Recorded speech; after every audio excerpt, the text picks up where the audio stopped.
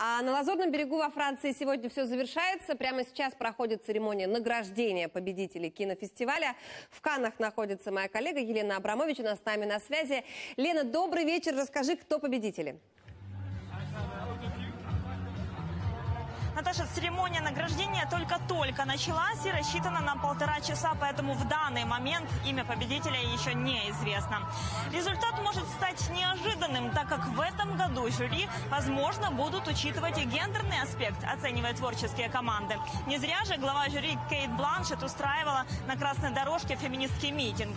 Всего в основной программе три фильма женщин-режиссеров. И два из них получили весьма похвальные отзывы. Это драма «Счастливый Лазара, итальянки Алича Рорвахер и Капернаум, ливанки Надин Лабаки. Ливанская картина особенно понравилась критикам. Это история о 12-летнем мальчике, который подал в суд на родителей за то, что они произвели его на свет, не имея возможности обеспечить нормальную жизнь.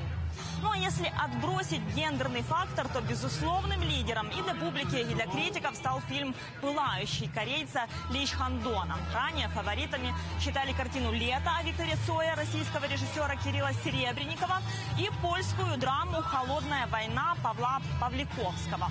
Вот такие прогнозы. Ну и напомню, что Украина в этом году не боролась за золото. Но два украинских фильма участвовали в других конкурсных программах.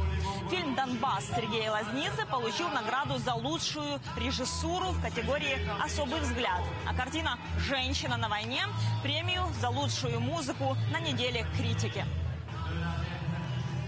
Спасибо, Лена. Елена Абрамович, которая сейчас загорает и работает в Каннах, была с нами на связи.